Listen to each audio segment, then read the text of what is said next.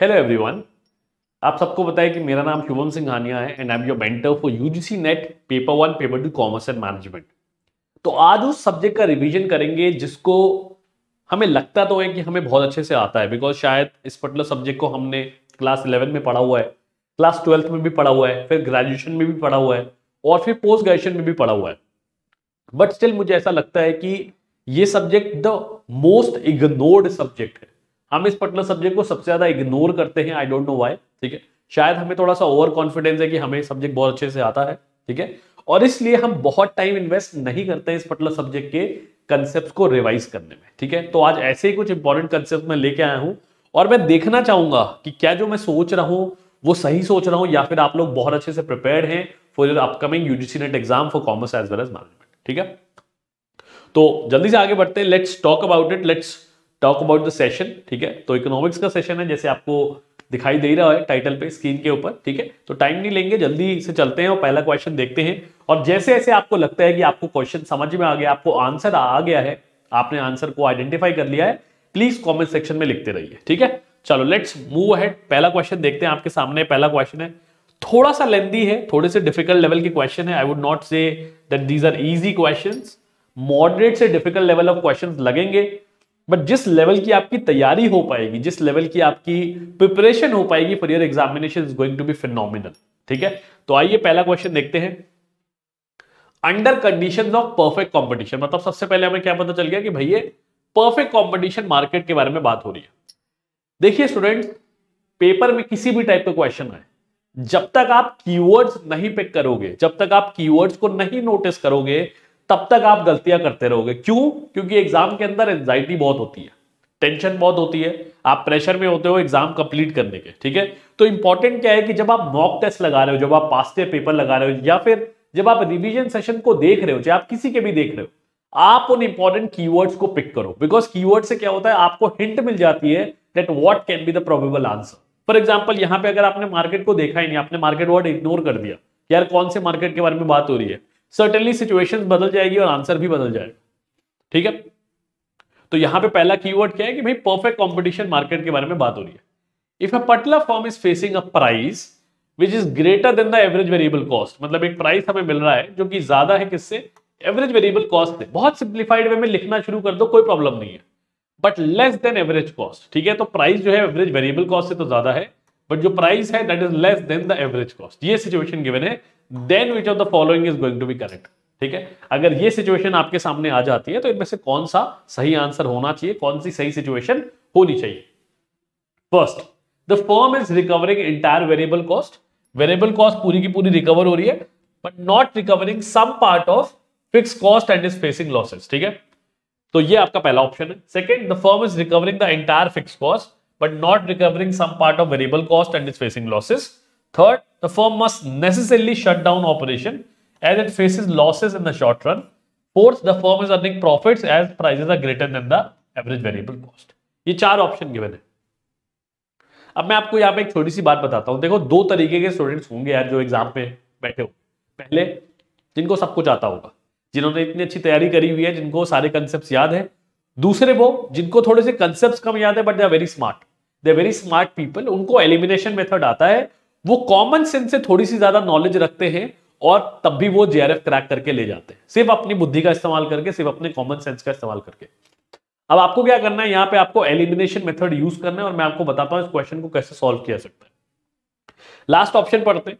The firm is earning profit as price are greater than average variable cost अब एक basic किसी बच्चे को भी पता होगा, जिसको बहुत कम नॉलेज होगी कि भाई प्रॉफिट सिर्फ़ तब हो सकते हैं जब आपका जो प्राइस है वो एवरेज कॉस्ट को एक्सीड कर दे, ताकि आप एटलीस्ट सारी कॉस्ट कवर कर दे। ठीक है? तो ये तो आंसर नहीं हो सकता, काम खत्म हो गया। ठीक? डी ऑप्शन एलिमिनेट हो गया। The firm must necessarily shut down operation and it faces losses in the short term अब आप ध्यान से देखो, अगर इसका एवरेज वेरिएबल कॉस्ट कवर हो रहा है तो क्या कॉस्ट नहीं कवर हो रहा? That is the fix cost अब फिक्स कॉस्ट तो वो कॉस्ट होना है, वो कॉस्ट होती है जो एनी वेज इनकर होने वाली है। मतलब whether you go for the production और नॉट फिक्स कॉस्ट तो एंटर होगी ना। फॉर एग्ज़ाम्पल अगर आपने लैंड ले लिया है रेंट पे तो अब whether you do the production क्या आप प्रोडक्शन करेंगे तो भी खर्चा लगेगा। तब भी आपको रेंट देना है। अगर आप नहीं करेंगे तो भी आपको रेंट देना है। ठीक है? सो टेक्निकल सेंस में शटडाउन करने का तो कोई फ़ायदा नहीं है। तो ये भी ऑप्शन एलिमिनेट हो गया। अब बच गया दो ऑप्शन अब कॉमन सेंस की बात आती है। The firm is recovering entire भाई, कहाँ लिखा है? सिर्फ़ इतना ही लिखा है ना that price is greater than average variable cost और एवरेज कॉस्ट किस चीज़ का कॉम्बिनेशन होता है? Average variable cost plus average fix cost इसका मतलब क्या है? जो गड़बड़ घोटाला है, वो एवरेज फिक्स कॉस्ट में है, ना कि एवरेज वेरिएबल कॉस्ट में. तो सेकेंड ऑप्शन भी एलिमिनेट हो जाएगा तो क्या बच जाता है? First one is going to become your correct answer कि भाई एवरेज वेरिएबल कॉस्ट कवर हो रही है बट कुछ पोर्शन ऑफ़ शायद एवरेज फिक्स कॉस्ट जो है, वो कवर नहीं हो पा रही. सिंपल काम खत्म. ठीक है? और लॉसेस क्यों हो रहे हैं? क्योंकि भाई एवरेज कॉस्ट जो है वो ज़्यादा है और प्राइसेस कम है। लॉजिक पे चलना है कंसेप्ट लगा के चलना है। अगर रट्टे मारोगे, रट्टू तोता बनोगे तो जवाब सही नहीं मिलेगा, ठीक है? या तो कॉमन सेंस लगाना सीख लो कि एलिमिनेशन मेथड से सॉल्व कर लो, या तो फिर इतनी डीप नॉलेज ले लो, इतनी डीप कंसेप्चुअल क्लैरिटी ले लो कि सवाल गलत होने की प्रोबेबिलिटी बिल्कुल भी खत्म हो जाए, ठीक है? सो देयर फॉर ए और first is going to be the correct answer मैं उम्मीद करता हूँ कंसेप्ट समझ में आ गया होगा कंसेप्ट पे फोकस करना है, ठीक है? That becomes your first question second question पे चलते हैं. Which of the following stakeholders are most financially hurt मतलब फाइनेंशियली सबसे ज़्यादा नुकसान किसको होने वाला है? Under the condition of unanticipated inflation anticipated क्या होता है? जहाँ पे आप सर्टेनिटी से या फिर आप मैप आउट कर पाते हो, आप भाप पाते हो, अगर मैं हिंदी टर्म्स में बोलूँ, कि यार इन्फ्लेशन होने की उम्मीद है। ठीक है?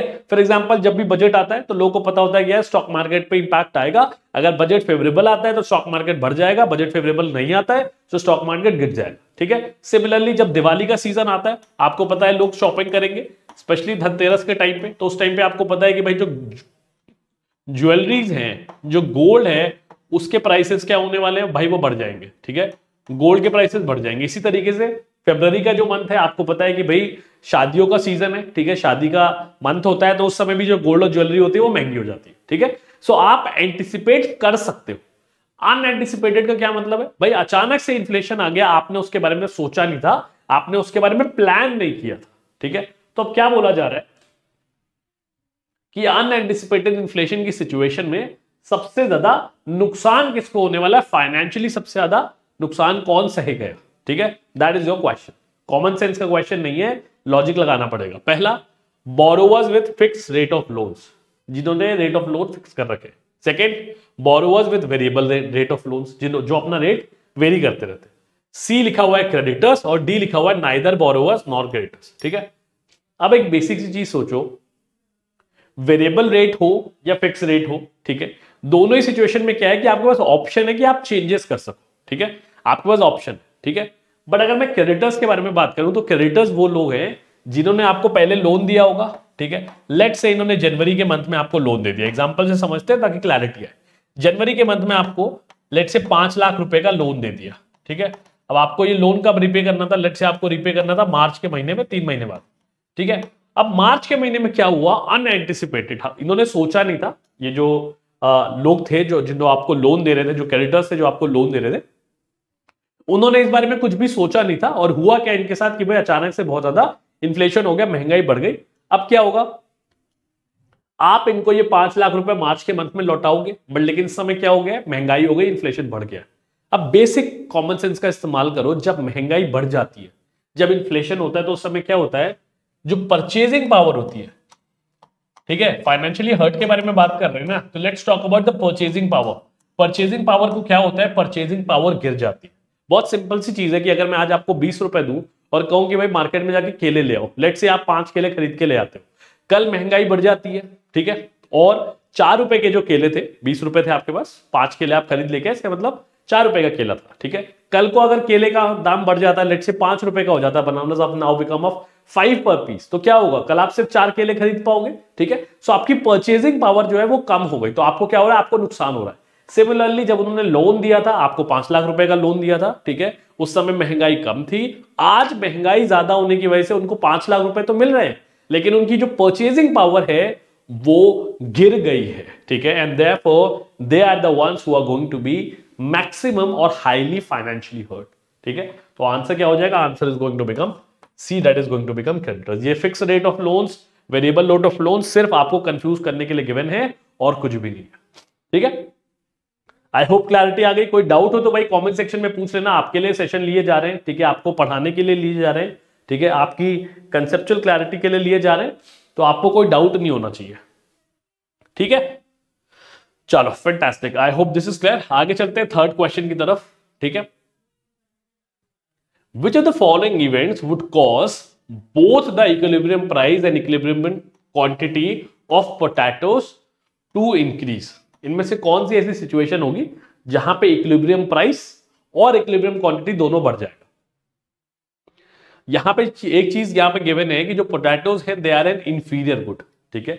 अब मुझे उम्मीद है कि आपको इंफीरियर गुड के बारे में पता होगा टाइप्स ऑफ़ गुड्स के अंदर हमने कंज्यूमर इक्विलिब्रियम के अंदर पढ़ा हुआ है कि इंफीरियर गुड वो होता है जिसकी जो इनकम इफ़ेक्ट होता है इनकम इफ़ेक्ट जो होता है वो नेगेटिव होता है। नेगेटिव इनकम इफ़ेक्ट का क्या मतलब है कि जब इनकम बढ़ती है तो इन प्रोडक्ट्स की डिमांड कम हो जाती है और जब इनकम घटती है तो इन इन प्रोडक्ट्स की डिमांड जो है वो बढ़ जाती है। बिल्कुल बेसिक चीज़ की। और मैं आपको बताऊँ क्वेश्चन को भी पढ़ने का ना एक तरीका है, एक मेथड है जो आपका काम आसान बनाता है। यहाँ पर जैसे मुझे एक टर्म दिखाना कि भाई अज्यूम इंफीरियर गुड आपके दिमाग में घंटी बजनी चाहिए कि यार इंफीरियर गुड के बारे में बात कर रहे हैं। इंफीरियर गुड तो सिर्फ़ इनकम से रिलेटेड है। तो इसका मतलब जो भी क्वेश्चन घूमेगा या जो भी पेपर सेटर होगा, उसके दिमाग में उस समय चल रहा होगा कि यार इनकम एक ऐसा एलिमेंट है जिसको हमें चेंज करना है या हमें ट्वेस्ट करना है। तो इनकम जो है वो आपके बेसिकली स्पेशल अटेंशन में आ जाना चाहिए कि जहाँ भी इनकम के बारे में बात होगी, हमें वहाँ पे ज़्यादा ध्यान रखना है, वहीं पे आंसर निकल के आएगा। ठीक है? अब एक बार ऑप्शन देखते हैं। Decrease in the supply of potato जैसे मैंने कहा कि भाई आपको भटकाने की कोशिश हो रही है। Second decrease in the income of the potato increase in the income of the potato consumers increase in the supply of potato तो देखो सप्लाई जो है ना, वो सिर्फ़ आपको कंफ्यूज करने के लिए दिया गया है, क्योंकि हमारा फोकस जो है वो इंफीरियर गुड पे है और इंफीरियर गुड जो है वो इनकम से रिलेटेड है। अब हम बात करते हैं ऑप्शन नंबर बी और सी के बारे में। Increase in the income of potato consumers देखो, अगर मान लो एक इक्विलिब्रियम की सिचुएशन बनी हुई है, ये डिमांड कब है और ये सप्लाई कब है, ठीक है? अगर यहाँ पे बनी हुई है कि इनकम जो है वो पोटैटो का कंज्यूमर्स का बढ़ जाता है तो क्या होगा? डिमांड कम हो जाएगी भाई डिमांड कम हो जाएगी तो क्या होगा? This is how the demand curve is going to go तो पहले इक्विलिब्रियम यहाँ पे था। This was the point let say A अब पॉइंट क्या हो गया? पॉइंट नीचे आ गया, ठीक है? पॉइंट ए पे थे, अब हम पॉइंट बी पे आ गए। तो आपको क्या दिखाई दे रहा है कि भाई यहाँ पे क्या हुआ? जो इक्विलिब्रियम क्वांटिटी ऑफ़ प्राइस था let say this is the price X axis पे प्राइस को ले लेते हैं और यहाँ पे क्वांटिटी को ले लेते हैं, ठीक है? इक्विलिब्रियम प्राइस एंड क्वांटिटी जो पहले ए पॉइंट पे था, वो अब बी पॉइंट पे आ गया। इसका मतलब क्या हो गया? गिर गया, कम हो गया, ठीक है? तो बेसिकली इंक्रीज इन इनकम क्या हो गया? एलिमिनेट हो गया, ठीक है? अब बात करते हैं डिक्रीज इन इनकम की। जब आपके पास इनकम गिर जाती है, इनकम कम हो जाती है तो क्या होगा? आप ज़्यादा कंज्यूम करने लगोगे। जब आप ज़्यादा कंज्यूम करने लगोगे what is going to happen the demand curve is going to shift forward ठीक है? डिमांड कर्व आगे बढ़ जाएगा और आप क्लियरली यहाँ पे देख सकते हो कि जब डिमांड कर्व बढ़ेगा प्राइस भी बढ़ गई एंड क्वांटिटी भी बढ़ गई। This is the change in the price and this is the change in the quantity ठीक है? टेक्निकली प्राइस को हमें वाई एक्सिस पे लेना चाहिए और इसको एक्स एक्सिस पे लेना चाहिए। That is how it should be ठीक है? बट नेवरदलेस बेसिक फंडा क्या है? ये दोनों ही सिचुएशन के अंदर प्राइस और क्वांटिटी जो है वो इंक्रीज हो जाएगी। तो हमें क्लियरली समझ में आ गया कि हमारा जो आंसर है that is going to be B दोस्तों, ये क्वेश्चंस लगते बहुत आसान है बट अगर कंसेप्ट ना पता हो कंसेप्ट ना क्लियर हो तो मैं आपको गारंटी दे सकता हूँ कि आपसे सवाल नहीं हिलेंगे। ठीक है? और अभी भी कमेंट सेक्शन में वही स्टूडेंट जवाब दे पा रहे होंगे जिनको ये कंसेप्ट आते होंगे। ठीक है? तो प्लीज़ मेरी हार्ट रिक्वेस्ट है आपसे कंसेप्ट पे ध्यान दो एनटीए यूजीसी नेट का एग्ज़ाम अब इतना आसान नहीं रहा कि आप बस ऊपर ऊपर से पढ़ के चले जाओ और जेआरएफ निकाल लो। ऊपर ऊपर से पढ़ के जाओगे तो हो सकता है नेट भी हाथ में आपके ना ठीक है? चलो, आगे चलते हैं। Let's move to the fourth question ठीक है, अगर आपने टेलीग्राम ग्रुप नहीं ज्वाइन किया प्लीज़ टेलीग्राम ग्रुप को ज्वाइन करिए। उसका जो लिंक है डिस्क्रिप्शन में अवेलेबल है। ठीक है, ताकि आप वहाँ पे अपने डाउट पूछ सके। मैं, हरनीत सर बाकी सारी faculties Anuj sir all of us are there in the group ताकि आप वहाँ पे हमसे बातचीत कर सकें। कुछ डाउट हो तो पूछ सकें। ठीक है? और अगर अभी तक आपने हमारी एप्लीकेशन अनुजिंदल को नहीं डाउनलोड किया तो उसको आप गूगल प्ले स्टोर से डाउनलोड कर सकते हैं और कंफर्टेबली ट्रैवल करते हुए भी सेशंस को देख सकते हैं। ठीक है? Let's move to the next question जो कि हमारा फोर्थ क्वेश्चन है आज का। Which are the following changes would not shift the demand curve for a good और सर्विस इनमें से कौन सी ऐसी सिचुएशन है जहाँ पे जो डिमांड कर्व है, वो शिफ्ट नहीं होने वाला लेफ़्ट और right whatever it be ठीक है? ऑप्शन देखते हैं। Change in the price of goods और services a change in the price of related good related good substitute भी हो सकता है कॉम्प्लीमेंट्री भी हो सकता है। A change in income a change in expectation about the future price of the good और सर्विस क्वेश्चन को बहुत ही ज़्यादा ध्यान से पढ़ना है। यहाँ पे क्या पूछा जा रहा है? Would not shift the demand curve ठीक है? अब आपको अगर ध्यान से याद हो, मैं आपका रिवीजन भी करा देता हूँ। जब भी हम डिमांड कर्व के बारे में बात करते हैं या सप्लाई कर्व के बारे में बात करते हैं तो हम दो कंसेप्ट के बारे में बात करते हैं। वन इज़ द शिफ्ट ठीक है? शिफ्ट का मतलब क्या है? ये डिमांड कर्व है। ठीक है? ये हो गया राइटवर्ड शिफ्ट ये हो गया लेफ्टवर्ड शिफ्ट ठीक है? समझ में आ रहा है? ये आपका डिमांड कर्व है। This is the rightward shift this is the leftward shift इसे हम कहते हैं शिफ्ट जब ये पैरेलल मूवमेंट करता है। ठीक है? दूसरा कंसेप्ट होता है movement along the demand curve ये डिमांड कर्व है। ठीक है? ये अपवर्ड मूवमेंट है। सॉरी एक्सपेंशन कहते हैं इसे। अगर ये एक डिमांड कर्व पे आगे की तरफ़ मूव करता है और अगर ये बैकवर्ड मूवमेंट करता है तो हम इसे कहते हैं कॉन्ट्रैक्शन इसे कॉन्ट्रैक्शन एंड एक्सपेंशन कहते हैं, जो movement along the demand curve होता है. मतलब एक ही डिमांड कर्व के ऊपर ऊपर नीचे मूवमेंट हो रही है, उसे हम कहते हैं movement along the demand curve और वो सिर्फ़ एक ही रीजन की वजह से होती है that is because of change in the prices of goods and services ठीक है? अगर गुड्स एंड सर्विसेज़ के प्राइसेस के अंदर चेंज आ रहा होता है तो movement along the demand curve होती है. अदर फैक्टर्स जो होते हैं what they do they lead to shift in the demand curve अब वो लेफ्टवर्ड होगी या राइटवर्ड होगी that would depend upon the situation to situation ठीक है? तो यहाँ पे पूछा जा रहा है which would not shift the demand curve तो सिर्फ़ एक ही लॉजिक है जिसकी वजह से शिफ्ट नहीं हो सकता and that is a change in the price of the good और सर्विस अगर गुड के प्राइस और सर्विस के अंदर प्राइसेस चेंज हो जाते हैं, सिर्फ़ प्राइस चेंज होता है, उस केस में movement along the demand curve होगा, ना कि shift in the demand curve बहुत ही बेसिक सा कंसेप्ट आपने अपनी बारहवीं की माइक्रो इकोनॉमिक्स में कंज्यूमर इक्लिबियम के अंदर डिमांड वाले चैप्टर में पढ़ रखा है, ठीक है? So that was the answer A correct answer था. आई होप आप इस क्वेश्चन का सही जवाब दे पाए होंगे, ठीक है? Now let's move to the last question which is slightly a trick question थोड़ा सा ट्रिक किया हुआ है क्वेश्चन बट मैं उम्मीद करता हूँ कि आप इसका सही जवाब दे पाएँगे अगर आपने कंसेप्ट को ठीक से पढ़ा होगा, ठीक है? ज़्यादा लंबा सेशन नहीं होता है दोस्तों प्लीज़ पूरा देख लिया करो, आपके काम ही आएगा जो मैं समझा रहा हूँ, सिखाने की कोशिश कर रहा हूँ। ठीक है? Let's move to the fifth question now which of the following situations will represent underutilization of the resources इनमें से कौन सी सिचुएशन है जो अंडर यूटिलाइजेशन ऑफ़ रिसोर्सेज को ठीक से दर्शाता है या फिर रिप्रेजेंट करता है? ठीक है? ऑप्शन देखते हैं। ऑप्शन के साथ साथ डायग्राम भी बनाएँगे ताकि आपको थोड़ी सी क्लैरिटी आ जाए। तो ये हमारा एक कर्व है जहाँ पे प्रोडक्शन पॉसिबिलिटी कर्व लाई करता है। This is the PPC I hope आपको याद है पीपीसी पीपीसी बेसिकली एक ऐसा कर्व है जो वो कॉम्बिनेशन दिखाता है जो एक कंट्री मैन्युफैक्चर कर सकती है, ठीक है? अब देखते हैं और साथ साथ पॉइंट्स प्लॉट करते रहते हैं। पॉइंट बी आई होप आपको नज़र आ रहा है, ठीक है? मैं थोड़ा सा साइड हो जाता हूँ ताकि आपको और क्लियरली नज़र आए। Point B which lies on the production possibility curve एक पॉइंट बी एग्जिस्ट करता है, जो पीपीसी पे लाई कर रहा है दिस इज़ द पॉइंट ठीक है? बी और ये पीपीसी कर्व के ऊपर ही लाई करता है, ठीक है? सो ये एक लाइन दिया हुआ है। हमें क्या आइडेंटिफाई करना है? कौन सा ऐसा पॉइंट है जो अंडर यूटिलाइजेशन ऑफ़ रिसोर्सेज दिखाता है। ठीक है? अब अगर आपको प्रोडक्शन पॉसिबिलिटी कर्व का कंसेप्ट पता है तो आपको पता होगा कि कोई भी पॉइंट एक बी पॉइंट हो सी पॉइंट हो डी पॉइंट हो, कोई भी पॉइंट हो, अगर वो पॉइंट पीपीसी पे लाइव करता है तो उसका मतलब क्या रिप्रेजेंट कर रहा है? It is representing optimum utilization of resources क्या रिप्रेजेंट कर रहा है? ऑप्टिमम यूटिलाइजेशन ऑफ़ रिसोर्सेज मतलब जितने रिसोर्सेज थे आपके पास, आपने उसको बिल्कुल प्रॉपरली जुडिशियसली यूटिलाइज कर लिया और उससे भरपूर बेनिफिट ले रहे। ठीक है? तो पहला तो आंसर नहीं हो सकता। ठीक? दूसरा point D which lies on the X axis of the production possibility curve ये पीपीसी कर्व है हमारा। अगर कोई पॉइंट पूरा एक्स एक्सिस पे लाई कर जाता है लेट से ये पॉइंट डी है, जो एक्स एक्सिस पे लाई करता है, इससे हमें क्या पता चलता है? हमारे पास दो गुड थे, यहाँ पे दो गुड्स हो सकते हैं एक्स और वाई हम सिर्फ़ एक ही गुड की मैन्युफैक्चरिंग कर रहे हैं, दूसरी गुड की मैन्युफैक्चरिंग नहीं कर रहे। फॉर एग्ज़ाम्पल अगर हम यहाँ पे लाई कर रहे हैं तो हम क्या कहेंगे कि हम सिर्फ़ वाई गुड मैन्युफैक्चर कर रहे हैं एक्स गुड मैन्युफैक्चर ही नहीं कर रहे। ठीक है? Again this is not a situation of underutilization तो ये भी आंसर नहीं हो सकता। ठीक है? थर्ड ऑप्शन देखते हैं।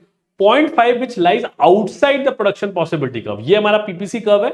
अगर मैं कह दूँ कि भाई एक पॉइंट एफ़ है जो यहाँ लाई करता है तो ये बेसिकली वो पॉइंट है जो आपकी रीच से बाहर है, ठीक है? आपकी कैपेसिटी से बाहर फॉर एग्ज़ाम्पल लेट से हम कहें कि भाई इंडिया 50 लाख यूनिट्स बनाना चाहती है किसी प्रोडक्ट के लेट से एक्स और उसके पास रॉ मटेरियल ही ना हो, ठीक है? रॉ मटेरियल ही सिर्फ़ 30 लाख यूनिट बनाने के लिए हो तो हम क्या कहेंगे कि भाई दिस इज़ अ सिचुएशन जहाँ पे हमारे पास रिसोर्सेज नहीं है, ठीक है? This is not a situation of underutilization of resources तो ये भी आंसर नहीं होगा, ठीक है? फोर्थ ऑप्शन देखते हैं। Point A which lies inside the production possibility curve आप मैन्युफैक्चर तो पीपीसी तक कर सकते थे बट अभी आप क्या कर रहे हो? आप मैन्युफैक्चर कर रहे हो एक पॉइंट के ऊपर पॉइंट ए जो पीपीसी के अंदर लाई करता है। तो इसका मतलब क्या है? जिस पॉइंट के बीच में और जो पीपीसी के बीच में डिफरेंस है, वहाँ की जो रिसोर्सेज है या जो उसकी लिमिटेड रिसोर्सेज है, वो अभी तक आप यूटिलाइज नहीं कर पाए to give you another example आपके पास 30 लाख यूनिट बनाने के रिसोर्सेज है, ठीक है? But as of now you are only manufacturing let say 15 lakh units तो जो 15 लाख यूनिट्स है, वो अभी तक अंडर यूटिलाइज है and this is going to be a situation of underutilization of resource ठीक है? सो देयरफॉर बहुत क्लियरली डी हमारा करेक्ट आंसर हो जाएगा। ठीक है? तो कई बार यूजीसी एनटीए बहुत स्मार्टली क्वेश्चंस को ड्राफ्ट करता है। ये देखने के लिए कि बच्चों ने सिर्फ़ ऊपर ऊपर से पढ़ लिया या फिर उनको एक्चुअली कंसेप्ट के बारे में नॉलेज है कंसेप्ट के बारे में जानकारी है। ठीक है? So that was your five question on economics मैं उम्मीद करता हूँ कि काफ़ी बेन स्टॉमिंग सेशन रहा होगा, काफ़ी कुछ सीखने को मिला होगा। आपको इनफैक्ट एक रियलिटी चेक मिल गया होगा कि क्या हमें इकोनॉमिक्स आता है या फिर हमें उसको रिवाइज करने की ज़रूरत है। ठीक है? So that was all about this particular session अगर सेशन में ऐसा लगता है कि कुछ भी डाउट आ रहा है तो आप प्लीज़ कॉमेंट सेक्शन को यूज़ करें। कॉमेंट सेक्शन में डाउट पूछें। ठीक है? अगर लगता है कि यार कुछ सीख पाए हो बहुत कम टाइम के अंदर, बहुत सारे कंसेप्ट मैंने आपको सिखा दिए हैं सिंप्लीफाइड वे में तो प्लीज़ मुझे कमेंट सेक्शन में कमेंट करके ज़रूर बताइएगा। ठीक है? आपके कमेंट्स हमें फीडबैक देते हैं और क्वालिटी इंप्रूव करने के लिए हमें डायरेक्शन देते हैं कि हमें किस सेक्शन में काम करना है, किस एरिया में काम करना है, ताकि हम आपको बेटर तरीके से सर्व कर पाए। ठीक है? That was all for today me Shubham Singhania your mentor signing off will meet you in the next session thank you keep preparing well and God bless you all